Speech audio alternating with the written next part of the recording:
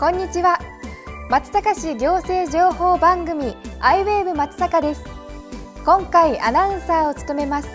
松阪高校放送部1年坂口めぐみです。よろしくお願いします。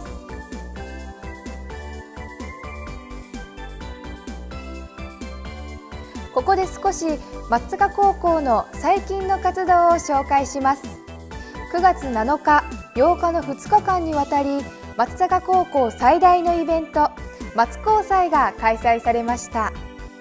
1日目は倉木文化ホールで行われました。我々放送部は NHK 全国高校放送コンテストテレビドラマ部門で準優勝を受賞した S ラインを流し観客の皆さんを引き込みました。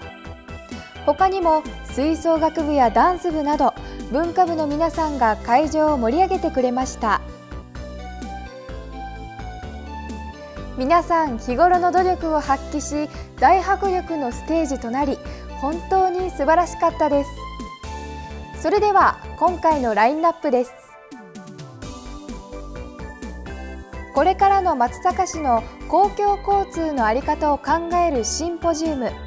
お出かけの手段をみんなで考える会が開催されました。今回の子育て一番情報は健康センターハリルで開かれたパインとのお楽しみ企画をご紹介します。松阪市社会福祉協議会から見てみて社協ですをお送りします。10月から運用が変わる上下水道についてお知らせです。